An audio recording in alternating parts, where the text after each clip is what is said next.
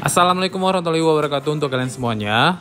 Jadi hari ini aku buat video atau vlog review tempat makan ataupun tempat nongkrong ataupun tempat nongkrong yang terbaru ada di Jalan Karya Kasih Medan Johor. Namanya itu Ola Cafe and Eatery. Jadi Ola Cafe and Eatery ini posisinya berhadapan dengan Masjid Al Ihwan. Nah, di sini mereka bangunannya itu menggunakan brick wall impression atau pola dekoratif bata. Jadi mereka di sini menggunakan batu bata tapi tidak diplester dengan semen halus ya. Ini bisa kalian tengok. Nah, brick wall impressionnya itu maksudnya di sini batu bata atau susunan batu bata yang bagian atas itu dia sedikit menonjol. Di setiap uh, sisi bangunan yang ada di sini, kebanyakan yang bagian atasnya itu dia sedikit menonjol. Tapi ada juga di sini satu tempat atau satu bangunan yang sangat ikonik. Jadi dia itu di bagian tengahnya yang brick wall impressionnya. Ini bisa kalian tengok ya. Nah ini dia, langsung aku mau tunjukkan sama kalian semuanya. Seperti ini dia. Nah nampak ya bedanya. Nah untuk yang bangunan yang ini aja, dia itu brick wall impressionnya di bagian tengah untuk bagian atas dan bawah dia tersusun rapi. Jadi bagian tengah ini sedikit menonjol di bagian bagian dibanding, maksudnya dibanding ya, dibanding bagian atas dan bagian bawah. Oke, aku mau tunjukkan lagi sama kalian semuanya. Jadi di Ola Cafe and Eatery ini mereka memiliki beberapa fasilitas. Di antaranya adalah yang pertama fasilitasnya ini aku review yang bagian luar dulu ya. Nah ini yang pertama fasilitasnya mereka ada musola. Nah di musola juga ininya interiornya itu sama kayak eksterior yaitu batu bata yang tidak diplester sama semen halus. Terus lapangan atau parkir mereka itu sangat luas ada di dalam. Jadi kalian nggak usah takut ya uh, tidak dapat ke bagian parkir. Jadi untuk parkir sepeda motor ataupun mobil ada di sini. Jadi cukup luas. Terus fasilitas mereka, mereka juga menyediakan toilet. Nah, toiletnya di sini juga sangat keren, unik, dan yang pastinya bersih. Ini aku tunjukkan sama kalian toilet yang ada di cafe ini. Sabar ya. Nah, ini dia. Jadi udah nampak toiletnya. Tadi masih pintunya ini yang aku tunjukkan ya kan biar kalian lebih penasaran lagi seperti apa toiletnya di sini. Oke. Nih aku langsung mau ke toiletnya kita lihat ya. Jadi benar-benar bagus lah di sini. Nih toiletnya. Nah untuk toiletnya juga mereka interiornya seperti ini menggunakan keramik yang bercorak dan untuk bagian atasnya batu bata yang tanpa diplester dengan semen halus. Ini juga bagian yang tadi, yang icon yang ada di Ola Cafe and Eatery. Nih. Nah, kenapa aku review lagi? Jadi memang tempat ini sangat menarik ya untuk uh, kita lihat dan kalau kita pun mau berfotoria di sini, aku rasa ini tempat atau spot yang sangat favorit lah bisa dibilang ini karena dia sangat unik.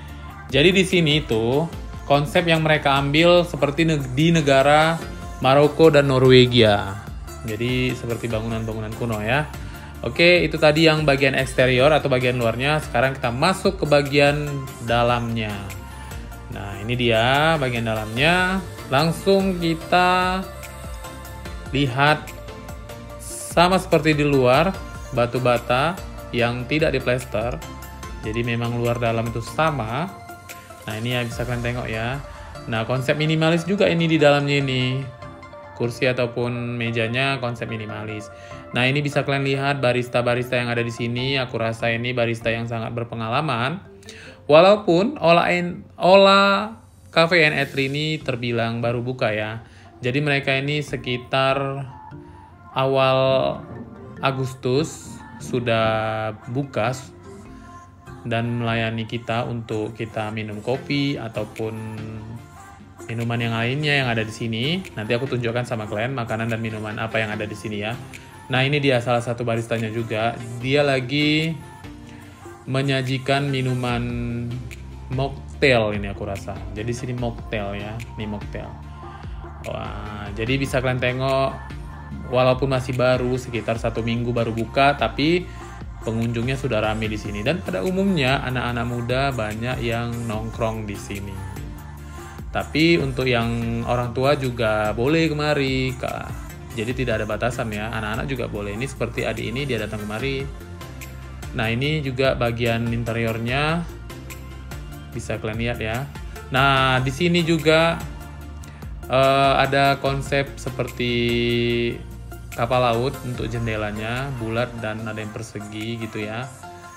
Nah, ini dia untuk menu makanan dan minumannya. Bisa kalian tengok apa saja yang ada di sini dan harganya. Oke, ini juga aku apa, uh, review lagi tempat ininya. Tempat interior nih yang bagian dalam ya. Ini dia, bisa kalian tengok.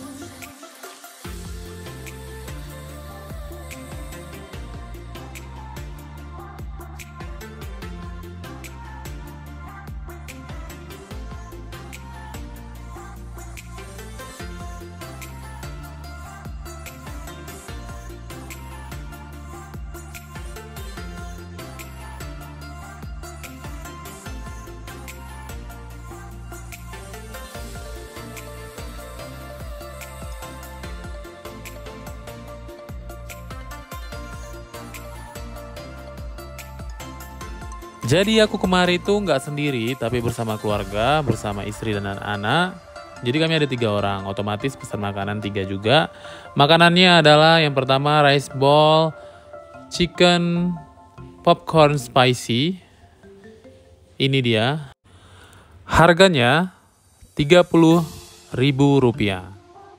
Jadi isiannya itu ada ayam yang pastinya, terus ada telur, ada tomat, ada daun selada, dan yang terakhir itu ada nasinya.